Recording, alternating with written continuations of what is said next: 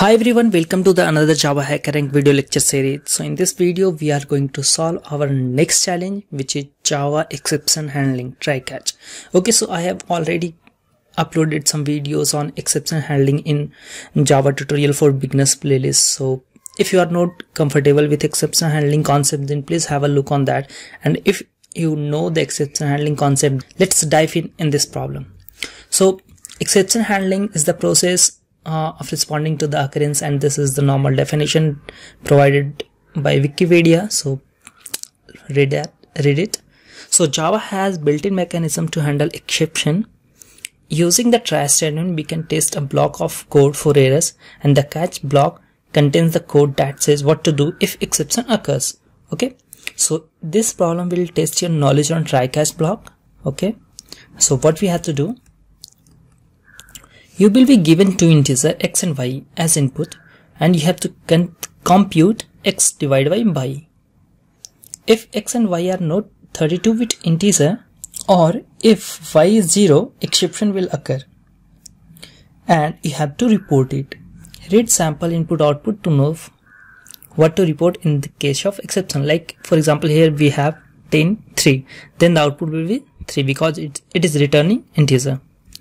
For example, second is 10 and hello. Since it is not an integer, then we will get exception which is java.util dot input mismatch exception. The next condition is 10 divided by 0. So anything divided by 0, we will get arithmetic exception. So this is something we want to, we have to do or print. Next one is here, this is double and this is uh, integer. So we will get input mismatch exception so here we have the code section. So enter your code here read input from the standard in okay. So first of all we need to use scanner class. Okay. So the next thing is we will take the input. So we will say int x is equal to scan dot next int similarly int y is equal to next int. And we will print out system dot out dot println x divided by y. So so this is we have to do. Next what if the exception will occur? So if anything that may cause exception we put that in try block. Okay? So open try close try. Okay? The next is every try statement should have catch or finally. So this statement is like catch catch block. And what it will catch? The first is if we get input output exception. Okay? If we get input output ex exception. What we have to do?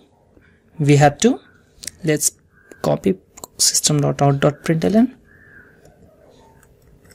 and we will say whatever the class name is just print it. So we have got method here e dot get class. Similarly we will do for if y is 0 so or what if we get arithmetic exception? Okay. So let's catch. Okay. And the catch statement will do. And if it throws arithmetic exception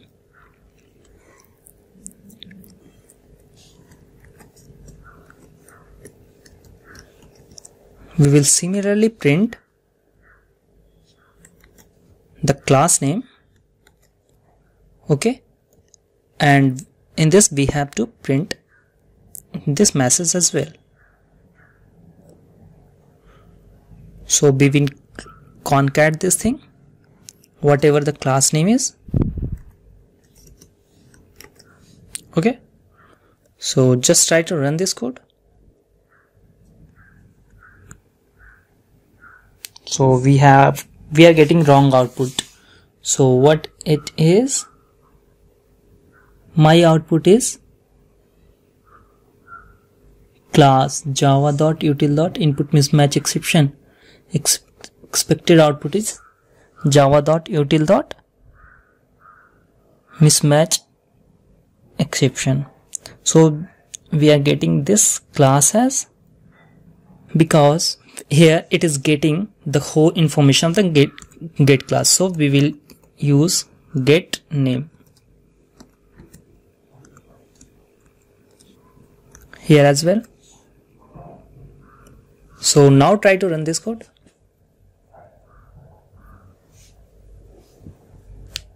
Still we are getting some error. Now what is this? Okay my output is okay so I am just lacking this colon. Okay.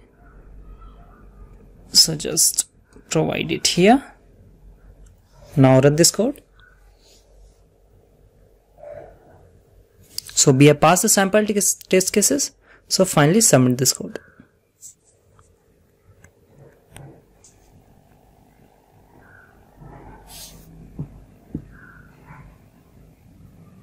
so we have earned 10 more, more points.